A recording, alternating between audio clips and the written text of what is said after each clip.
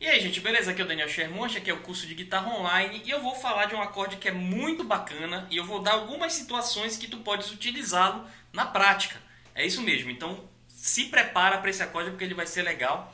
E antes se inscreve no canal e também conhece o curso de guitarra online. E se tu tens dúvidas sobre o curso de guitarra online, sobre os resultados que ele dá e tal, Escuta o que meu aluno Gabriel tem a falar, porque nada melhor do que um aluno meu para explicar como é que funciona o curso. Se tu estás com dúvida, tenho certeza que o Gabriel vai tirar todas as tuas dúvidas. Então escuta aí o que o Gabriel tem a falar sobre o curso de guitarra online. Galera, beleza? Meu nome é Gabriel e estou aqui para dar o depoimento sobre o curso de guitarra online. É, antes eu fazia aula via Skype com o Daniel, mas hoje eu estou no curso e o curso realmente é muito bom. A gente tem um professor que é excelente, entendeu? Ele estudou na Argentina, formou no Instituto de Guitarra, Tecnologia, sabe passar em, em vários estilos, isso é muito bom, seja no metal, forró, é, baião, rock, blues, jazz. Era um jazzista, né? Especializou em jazz, então muito massa ter um professor assim, né? Porque um jazzista é um improvisador, então ele mostra uma visão diferente de improvisar, bem mais aberta, creio eu. E o Daniel, pô, é muito bom, sabe? Ele gosta de te ensinar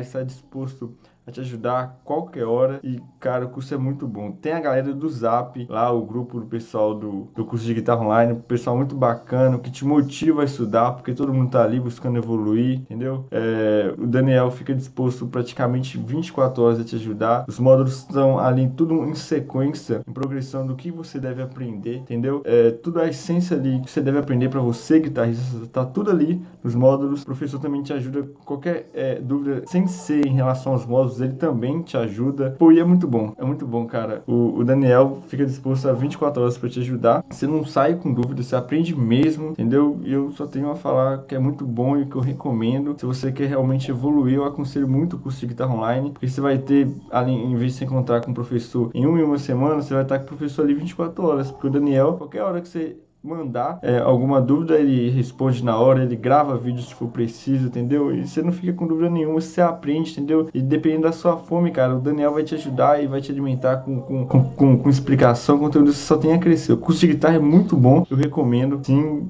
Sair, fazer aula do Skype, agora eu tô no curso de guitarra online com o Daniel Sherman. Eu recomendo é isso aí, galera. Valeu! Valeu, Gabriel! O Gabriel tá crescendo pra caramba, ele tá indo para outro nível já na música e ele é muito esforçado, toca pra caramba.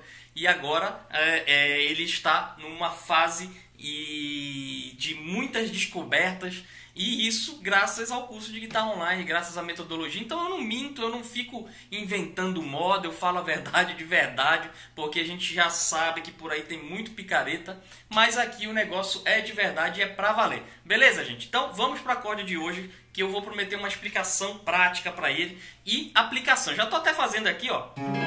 É o dó sustenido diminuto, tá? Esse acorde aqui, esses acordes diminutos, a explicação para eles é que eles têm um intervalo de um tom e meio, tá? É uma distância entre uma nota e outra do acorde de um tom e meio. Isso eu explico no curso de guitarra online, tá bom? Sobre intervalos e lá fica bem mais fácil de compreender. Aqui tem pouco tempo para a gente falar.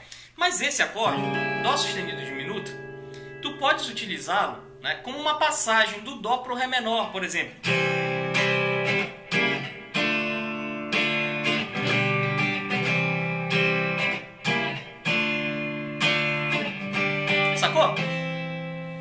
Gente rola ele aqui. Ou em conjunto, por exemplo, às vezes tem uma, se tu tiveres uma música que tem o dó e depois o lá com sétima, no lugar do lá com sétima tu pode usar o dó sustenido diminuto também. Depende, obviamente, do arranjo. Eu estou dando algumas, algumas ideias para vocês praticarem o dó sustenido diminuto. Viu que ele encaixou? Fiz o Lá com sétima e o Dó sustenido diminuto.